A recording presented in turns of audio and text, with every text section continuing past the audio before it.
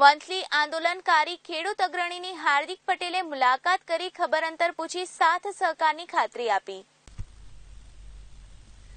વંથલીમાં પાટીદાર આંદોલન સમિતિના હાર્દિક પટેલે વંથલીના ઓઝત બચાવો અભિયાનના ખેડૂતો અગ્રણીઓ કે જેના પર તાજેતરમાં ખનીજ માફિયાઓ દ્વારા ઢોરમાર મારવામાં આવેલ તેવા નયન કાલોલાની હોસ્પિટલમાં મુલાકાત લઈ ખબર અંતર પૂછી સહયોગની ખાતરી આપેલ.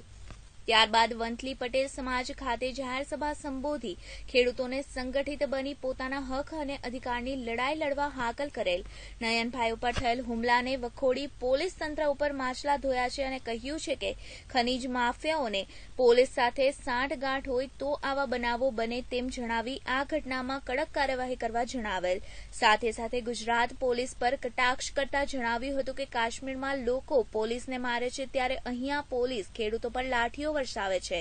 ખરેખર તો ગુજરાત પોલીસ ખૂબ હિંમતવાન હોય અને કાશ્મીર મોકલી આપવા જોઈએ.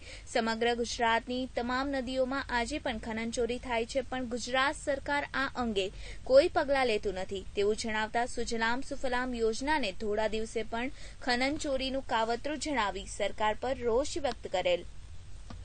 અજય વાણવી સાથે કેટીવી ન્યૂઝ ગુજરાતી, વંથલી.